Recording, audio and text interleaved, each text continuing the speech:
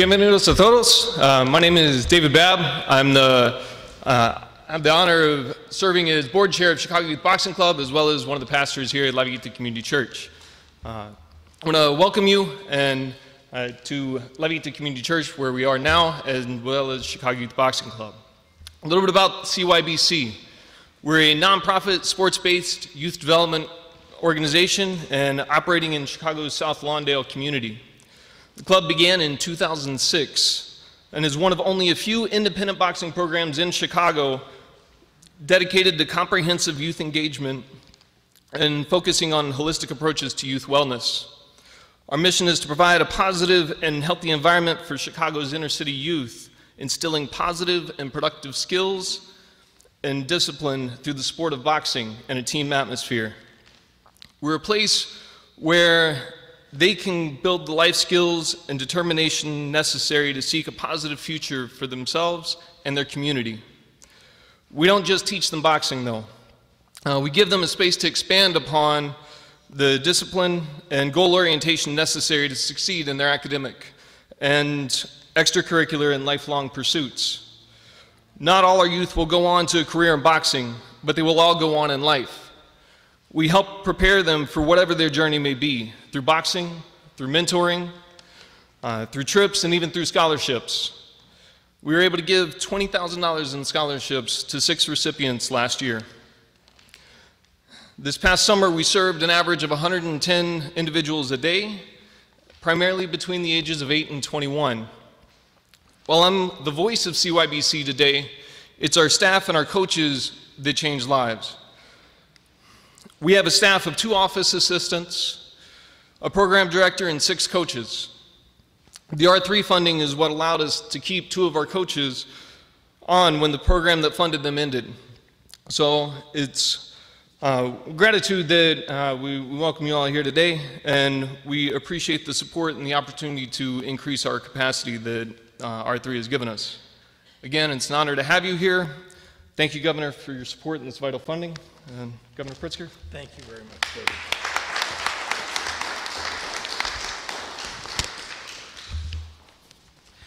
Well, good morning, everyone. Good morning.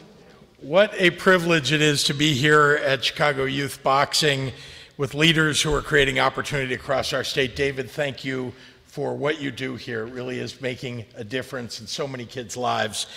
Uh, to David Babb, of course, and to Dr. Mary Robinson and to Pauline Sylvain, from the bottom of my heart, thank you for the chance to support and expand the work that you're doing in your communities. And Zahid, who will be up to speak in a little bit, I'm very grateful for the chance to hear your story today. To Senator Celina Villanueva and to Representative Lakesia Collins and Representative Edgar Gonzalez, thank you for your continued partnership in building an Illinois that is more fair and just. And of course, to ICJIA Acting Director Delrice Adams and to her team, the entire R3 board and our R3 board chair, and especially and she is just terrific. The R3 board chair is also our outstanding Lieutenant Governor, Juliana Stratton.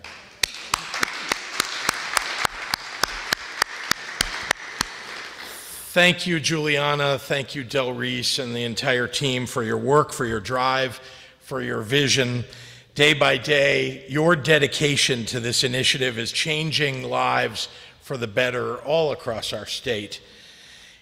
In the pursuit of justice, progress isn't possible without accountability. We must acknowledge and address the trauma inflicted by the war on cannabis, which incarcerated countless nonviolent offenders and tore apart families and neighborhoods in the process. That is the core tenet of Illinois' cannabis legalization framework and what sets Illinois apart from other states that have legalized. We're prioritizing investments in communities that were previously harmed for what is now legal.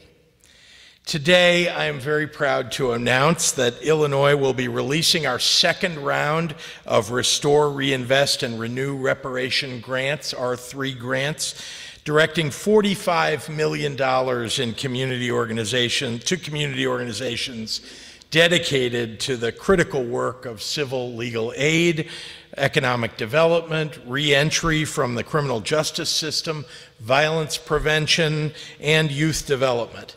And that brings our R3 impact so far to $80 million in just the first year of that program.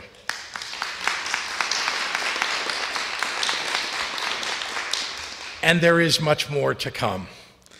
The positive impact of these dollars looks different in every community because after decades of trauma, restoring justice requires a multi pronged effort in every community. For one organization, it may mean job opportunities for working families. In another, an after school program for children. For David and Zahid here at Chicago Youth Boxing, restoring justice to their community means a new generation of Chicagoans empowered to dream big. And through boxing, David is giving students a foundation of empowerment by providing a safe outlet for achievement and connection and wellness, disrupting the idea that the neighborhood they call home is somehow limiting their possibilities. Instead, those possibilities are now made expansive. For uh, Ghian Foreman of the Emerald South Economic Development Collaborative, restoring justice looks like growing opportunity through landscaping. Inspired by the impact of incarceration and gun violence on his own family, he founded a Green Core to transform vacant lots into usable green spaces where justice means places to play, economic activity, and safer neighborhoods. For the leaders of Chicago Urban League and the Safer Foundation, justice looks like being there for those beginning life after incarceration with employment and job training and community reparations. Across the state, from Youth with a Positive Direction in Decatur to the KLEO Clio Center in Washington Park, local leaders are charging forward to reimagine the next chapter in their communities. The best thing that we could do as a state is to match that ambition. And today we launch applications for the second round of R3 grants. I know our recipients will be transforming lives with their work and in turn transforming our cities and this entire state. Because when we reinvest in the potential of people, we invite the economic activity that creates resiliency. And when we renew hope in communities historically left out, we inspire the next generation to pursue a brighter future. And in public service, that is our obligation. Thank you. And now I would like to introduce a leader central to the success of this program and, of course, to our state acting director, Delrice Adams of ICJIA.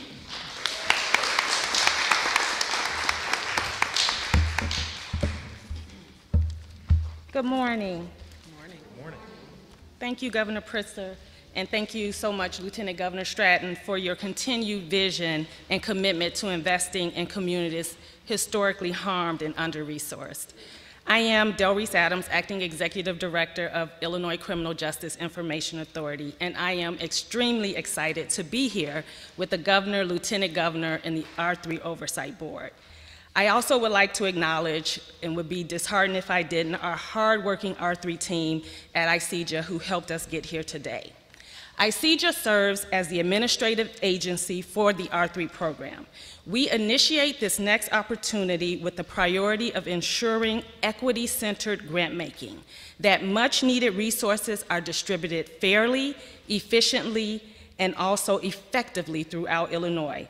We recognize our responsibility to provide technical assistance to building community and organizational capacity within small organizations not only to apply for and access grant funding, but also to manage those funds successfully in alignment with GATA, the Grant Accountability and Transparency Act. Capacity building plays a vital role for smaller organizations in need of grant funding. Many times, local agencies do not have the infrastructure or staffing capacity necessary to apply and manage state funds. ICJIA seeks to address those organizational deficits with a variety of technical assistance offered throughout the year, beginning with free online training for potential applicants on how to apply for a grant and continuing with regular contacts and training opportunities for new grantees on how successfully to manage those grant dollars. ICJIA's virtual Get the Recipe for Success online training program prepares R3 grant seekers with information on what goes into winning grant proposals and general application submission guidelines and requirements. We encourage all potential grant applicants to take advantage of this training program, as it would be especially helpful in applying for this round of funding. In addition to online training, which can be taken anytime, ICJIA will host an informational webinar in coming weeks for potential R3 applicants on how to complete the R3 application, including time for questions and answers. We want to make sure that all agencies have access to this funding. Once organizations are awarded funding, we offer ongoing administrative support to help new grantees successfully manage their grants and realize their visions of addressing community needs with their programs. To address equity further, we have developed both a working capital and advance pay policy as alternatives to smaller organizations who find it difficult to operate programs within the state's reimbursement model. By setting Illinois small organizations up for success, building on their strengths and addressing their barriers, we create new possibilities for communities that have been harmed by decades of violence, economic disinvestment, and excessive incarceration. R3 is about equity investing in all communities, and making sure all service organizations, large and small, become equipped to create innovative programs and strategies that address the diverse needs of their communities and ultimately build a safer Illinois. Thank you so much, and I will now introduce Pablo Mendoza, who is a member of the R3 Oversight Board.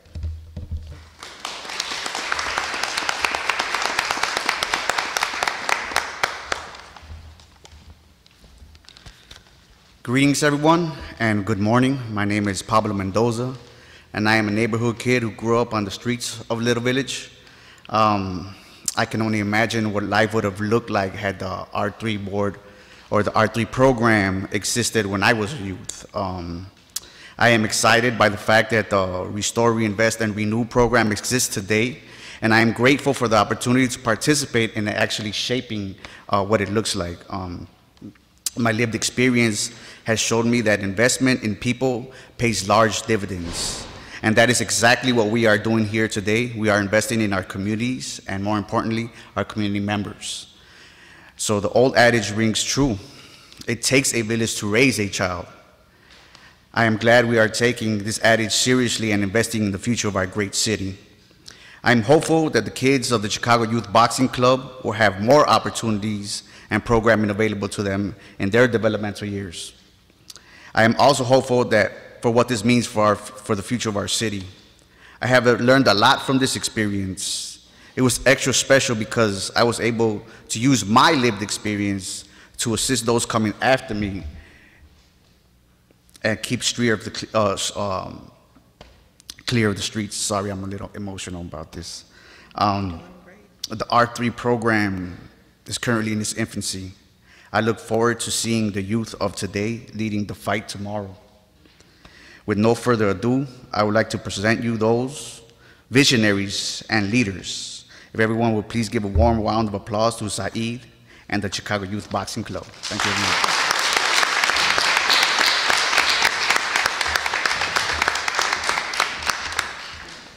Hello everyone, I'm, I'm Saeed Salgado and I'm 17 years old. Estoy en mi último año en la secundaria de Social Justice High School en La Villita. Yo soy el hermano mayor, tengo dos hermanos más chicos y vivo con mis padres. Mucho ha cambiado desde que me uní al Chicago Youth Boxing Club o CYBC como le llamamos. Antes no era activo, realmente no me gustaba hacer actividades o hacer ejercicio. Durante COVID-19 luché con mi peso y no me sentía demasiado bien. No estaba haciendo nada, empecé a venir a CYBC y empecé a hacer amigos. Los entrenadores me retaron a hacer las cosas mejor y a hacer ejercicio y a comer más sano.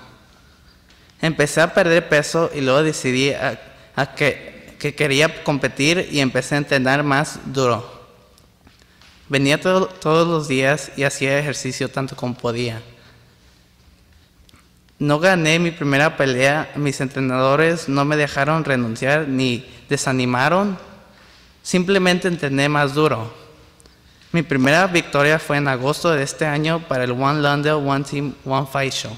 Y luego, en noviembre del, del 2021, gané el torneo de CYBC Power Gloves.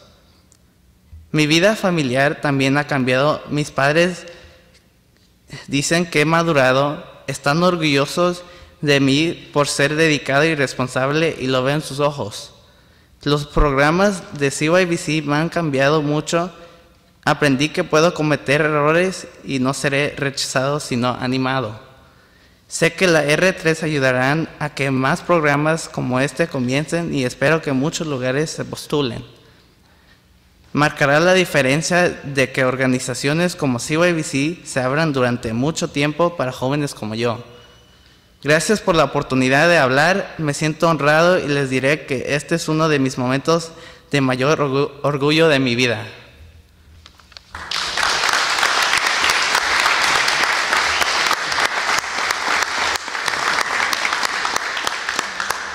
Hello, I'll be translating for Zaid. Uh, Zaid is 17 years old. I'm a senior at the Social Justice High School here in Little Village. I'm the oldest brother. I have two younger brothers, and I live with my parents.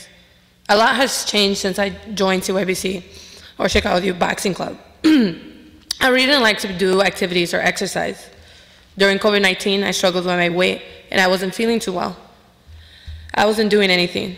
I started to come to OAC and started to make friends. The coaches started to challenge me to do better, to exercise, eat healthier. I started to lose weight, and then decided I wanted to compete. And I started to train harder. I would come every day and work out as much as I could. I didn't win my first bout, and my coaches didn't let me quit or get discouraged. I just trained harder. My first win was in August 2021 for the One Lawndale, One Team, One Fight Show, and then in November 2021, I won the Power Gloves tournament at CYBC. My family life has changed as well. My parents say I have matured. They're proud of me for being dedicated and responsible, and I see it in their eyes. COBC's programs have changed me a lot. I learned that I can make mistakes, and I will not be discarded but encouraged. I know the R3 grants will help more programs like this to get started and hope many places apply. It will make a difference in making sure the organizations like CWBC are open for a long time to help youth like me. Thank you for the opportunity to speak. I'm honored, and I will let you know this is one of my proudest moments of my life. Thank you.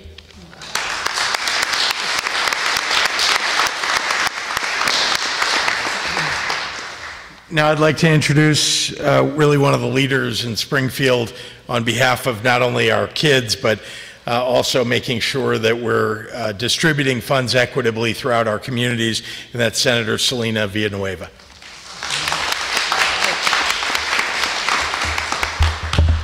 Thank you, Governor. Um, Before I start, I did want to take a moment to honor this space, the La Villita Community Church, and the contribution of Pastor Victor Rodriguez that we lost a couple of years ago, for the importance that he and Magda had played, the sons have played, and the entire family and community of La Villita Community Church, because this is a sacred space for so many of you, for the boxing club, but for so many in the community that consider this a home.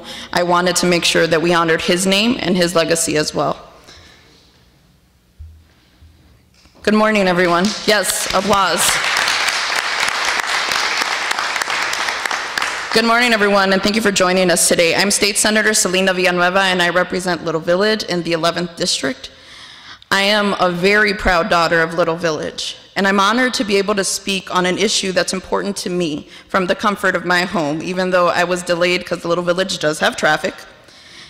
The issue is disinvestment. Communities harmed by violence and the excessive incarceration due to economic disinvestments are product of a much larger systemic issue. The lack of opportunity in marginalized populations encourages cycles of poverty, of social insecurity, and many other problems that R3 aims to address. And only by investing in these communities can we reverse the circumstances that have affected these areas. Little Village, like many other communities throughout Illinois, will benefit greatly from programs like R3 and the funding that comes with it. I've seen firsthand the advantages of providing mental health initiatives and violence prevention programs to our community. Violence interrupters on numerous occasions have de-escalated situations in the area, especially when it comes to racial tensions like, happened, like what happened on 26th Street last year. Mental health resources are one way to counter the issues that we see in La Villita. Funding nonprofit initiatives will make mental health resources available to youth in need, as well as bringing after-school programming to provide students and young people options that they can be passionate about. These resources will allow our young people to make the steps they need towards the lives that they want for themselves in the future. Forward thinking is an integral alternative to the in-the-moment decision-making that often leads to the issues that we see in our community.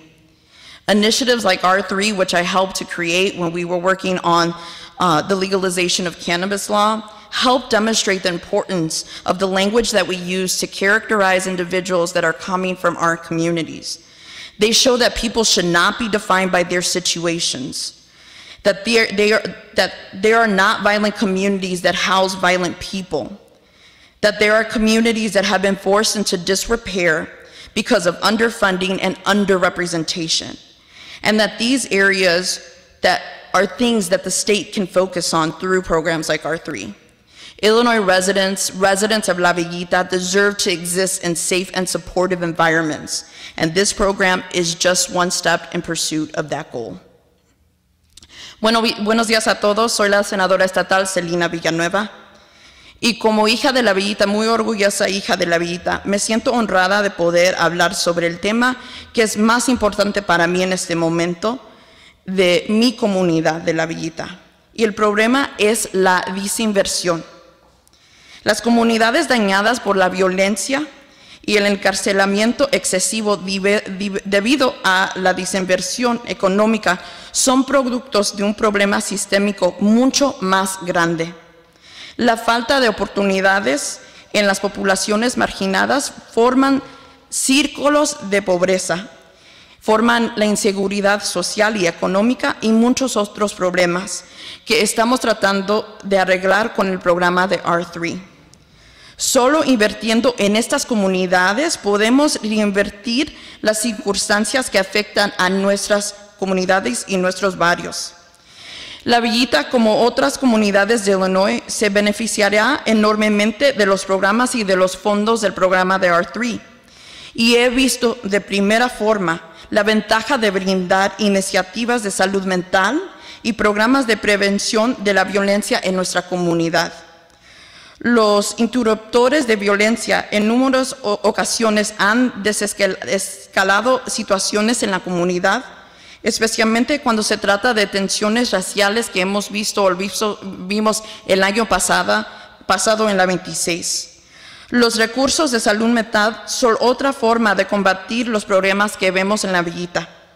Los fondos para iniciativas sin fines de lucros permitirán que los recursos de salud mental existen y estén disponibles para los jóvenes que los necesiten además de ofrecer programas extracurriculares para brindar opciones para nuestras comunidades y nuestros jóvenes. Estos recursos permitirán a los jóvenes dar paso hacia la vida que desean para el futuro. Iniciativas como R3 ayudarán a demostrar la importancia que estas comunidades como la Villita no son comunidades violentas, violentas que albergan a personas violentas sino que son comunidades que se han visto devastadas por la falta de fondos y de recursos y de la representación. Y estas son las áreas que hemos tratado y estamos tratando de arreglar al nivel estatal.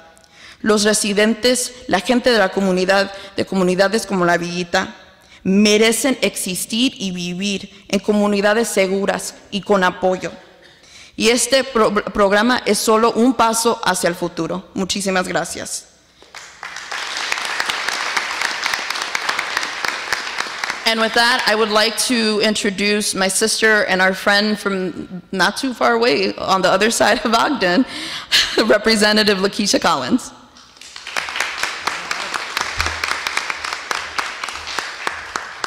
Good morning. Good morning.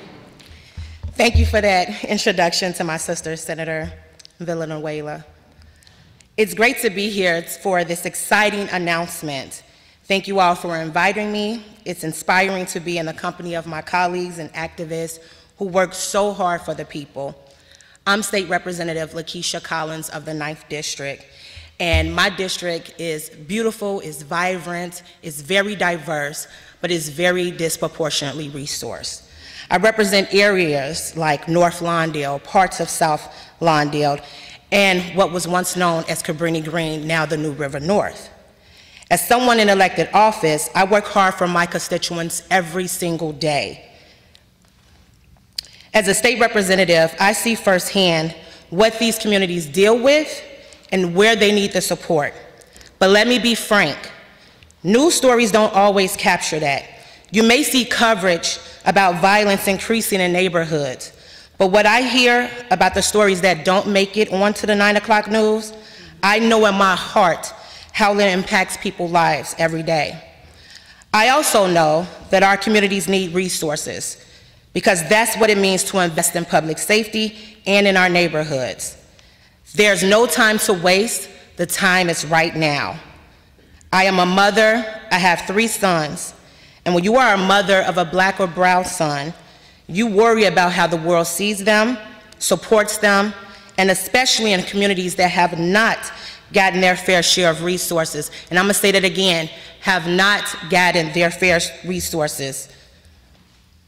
You see, I want my sons to have the same opportunities, the same programs, and the same support systems that are found in other communities. One way to ensure that is with grant making that is focused and equitable like R3. That's why this second NOFO represents so much to so many people, and I'm proud to work and serve in a state that recognize that we have to give people the tools they need so that we all can have a better life and a brighter future.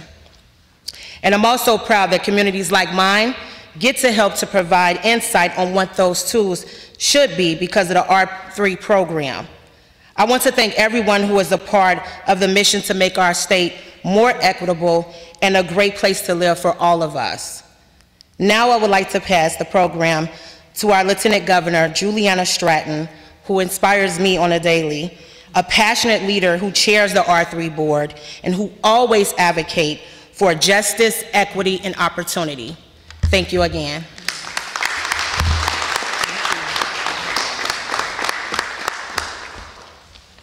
Good morning, everyone. I'm Juliana Stratton. I use she, her pronouns. Thank you, Representative Collins, for introducing me, but more importantly, thank you for fighting for what the communities that you serve need. Governor Pritzker, as always, thank you for your unwavering commitment to uplifting our state's most vulnerable through your compassionate and decisive leadership.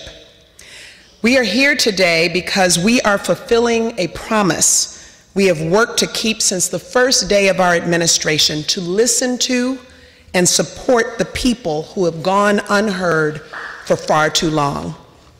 When we made that promise, there was no infrastructure in our state to address the decades of disinvestment, over incarceration, and trauma caused by the war on drugs. There wasn't a tool that connected communities to the resources they so badly needed equitably or sustainably.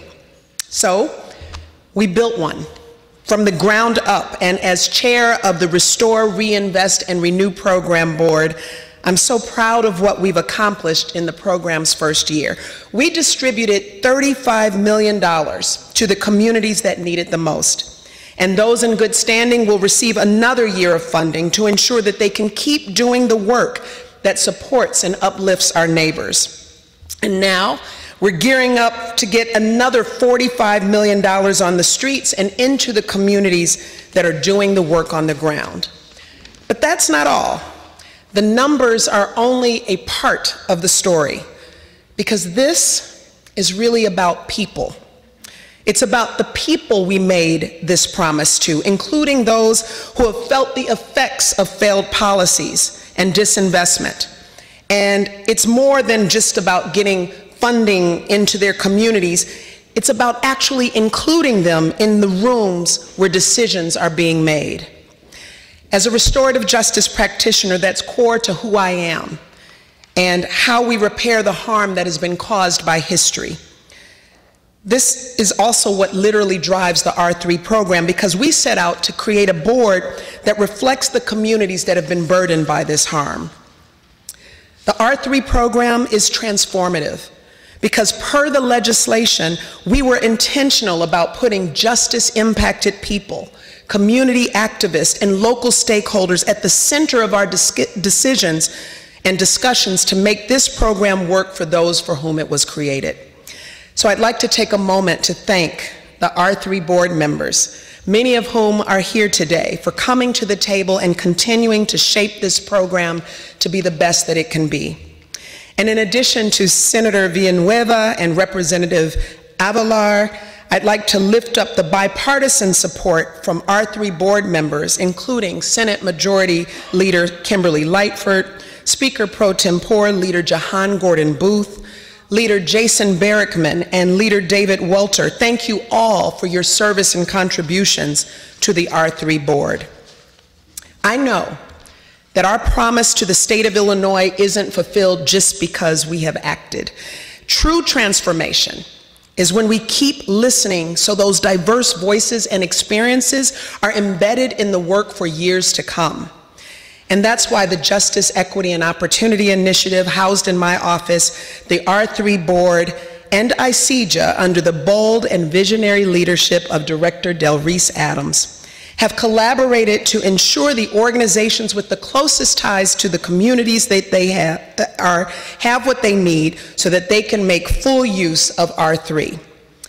We've heard a little bit about what that means, but it includes convening board working groups to create a new tier system that dedicates 75% of available funds to applicants with a new organization or with a budget of less than $2 million because so many small organizations said they want access to these funds as well, equitable access. We've hosted information sessions to over a dozen R3 eligible communities, reaching over 500 individual organizations. And those opportunities for hosting information sessions are still available, so reach out if you'd like to schedule one in your community. And as you heard from Director Adams, offering accessible and readily available technical assistance in grant making. Let me make this clear. We are not done. And today's announcement is a testament to that. We have more work to do to repair the harm. We have more work to do to fill seats at the table.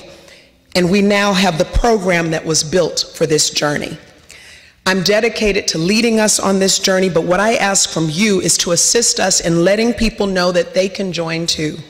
Spread the word that R3 funding is available and people are at the ready to help them successfully apply. We've made space for new voices and new ideas, so let's welcome them in. I'd like to thank and acknowledge all of the speakers today for bringing their all to this work every single day. And before I go, I'd be remiss if I did not acknowledge the incredible director of our Justice, Equity, and Opportunity Initiative, Yakov Delaney, and the hard-working members of the JEO team, R3 Coordinator Emily Harwell, Program Manager Ariana Correra, and our McCormick Foundation Reentry Policy Coordinator, Orlando Chili Mayorga. Can we please give them a hand? I'll close by saying that we all have a role in creating a future for all. And I thank you for showing us how much is possible when we lean into each other and make that climb together as lawmakers, as change makers like our host and the team at Chicago Youth Boxing Club, and as members of our communities, including the incredible young people like Zahid Salgado, who told me before I walked up to, into this room, he said, what I love about this program is that I get to exercise, but also because I am safe. And that's what every child in the state of Illinois should be able to say I am safe. Again, thank you all. And now I would like to invite Governor Pritzker forward to take questions from the media. Thank Governor. Um, folks, before I take in questions from reporters, I want to take a moment to make a bittersweet announcement. As you may have heard by now today, Toi Hutchinson is leaving my administration to become the president and CEO of the Marijuana Pro- Policy Project in Washington, D.C., though she will remain here in Illinois. Uh, and that project is the largest cannabis justice advocacy group in the entire United States. Toi has been an, an immense demand for her insights and energy and enthusiasm for a long time, since before I was able to persuade her to come on board and work with me. And I am honestly very sad to see her go. I know that she will take all of what she did here in Illinois and expand it nationally. For over two years, Toi has served as my foremost, the premier advisor on cannabis, rolling back the injustices of criminalization investing in the communities that need it most, and making Illinois' industry the most equitable in the country. Even when the ink of my signature on Illinois' adult use cannabis law was not yet dry, Toi was getting calls from around the world from people eager to learn from Illinois' equity centric legalization model. Toi and the other marijuana moms, as they called themselves in the General Assembly, Leader Jehan Gordon Booth was one of them, then Senator Heather Steans and Representative Kelly Cassidy. They set out to make Illinois the first state in the nation to legalize recreational cannabis while recognizing and addressing the past harms of discriminatory drug laws. In her new role, Toi will be able to share on a national platform the lessons learned from passing and implementing the Illinois law. I will miss her in the governor's office. But what an honor for Illinois to have our own Toi Hutchinson leading the charge on a national scale, shaping the fight for cannabis justice, not just in our state, but in all 50 states. It's long past time for, for a federal law to move away from arcane cannabis criminalization and imprisonment and toward a justice based model Illinois is proud to see Toi take this next step in this work. Outside of Illinois, almost all states that have legalized have done so by opening the gates to this multi billion dollar industry in a way that doesn't account for the barriers facing black and brown communities that suffered most from the war on drugs. It's easy to just allow systems to exist as they always have. But we are committed to dismantling barriers born of decades of injustice and centuries of racism. And it is much, much harder to build something that pushes against those currents. It's why no one tried it before Illinois did. And I know that we will continue to make Toi proud to call our state home by continuing to lead the nation on equity Toi. From your years, you're going to make me cry. Um, Toi, from your years in the General Assembly to your time in my office. Illinois is a better state because of your public service. And through it all, you fought for justice every step of the way. You brought light and curiosity and reflection into every room and always worked to ensure the right people had a seat at the table. And you did it all while raising terrific children and offering kindness to everyone around you. Honestly, you will be deeply, deeply missed. And with that, I'd be happy to take questions from members of the media.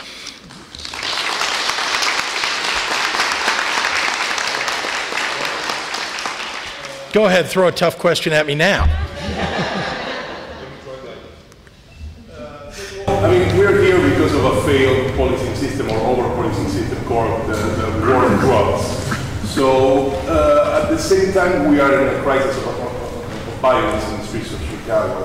A lot of people in this community are still asking for repression instead of prevention to solve this issue. What would you tell? Well, let's be clear that uh, there is a lot of work to do to address violence, especially gun violence, that's going on, not just in the city of Chicago, but across the state. and across the nation, I might add, during this very challenging time for everyone. Um, but one of the things that, that R3 and that our cannabis legalization has done is to try to address the underlying causes. The R3 funding that goes to organizations, you can see this is great for our young people. It's great for our communities to have organizations um, talk about safety, talk about a place that you can come where you feel safe. That's hugely important. And it's fighting racism. And that, honestly, is, in my view, one of the underlying causes of violence that we see, um, especially now, as I see the world moving backward, not forward. Here in Illinois, we're trying to move forward.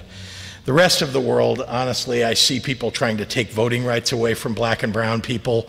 Um, that's one of the voting rights for black and brown people is one of the things that got us an advancement and got us to a point where we could keep uh, violence down and where people felt engaged and were electing their own elected officials to office you know, now we're seeing things rolled back by people who genuinely would like to move us back into the 1950s. Um, it's time that we moved into the 2020s and beyond, and, and so I'm proud of the work that we're doing to fight violence and, and to do it in an equitable fashion with the legalization of cannabis.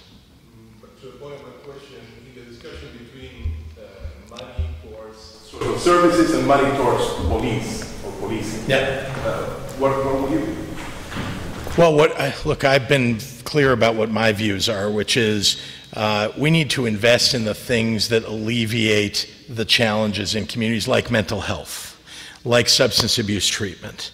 These are the underlying causes that you see. It's not, it's not about you know, having more or less police. We need to support police who are doing what they're supposed to do, and most do. But we also need to address the underlying causes of the violence that we're seeing across. It's not just about locking people up and throwing away the key the way that some on the right would like to do. It's not just about having qualified police who are trained to do the job well. We, we need that, of course we need that. It's also about addressing poverty. It's about addressing the needs of our young people and so that, those are the things that we're, we're working on. And I've been working on that. Juliana and I together have been working on this literally since day one. Thank you everyone. Thank you.